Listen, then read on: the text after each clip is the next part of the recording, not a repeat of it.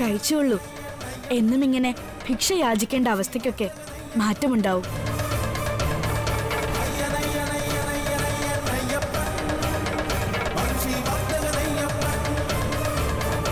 സ്വാമിയേ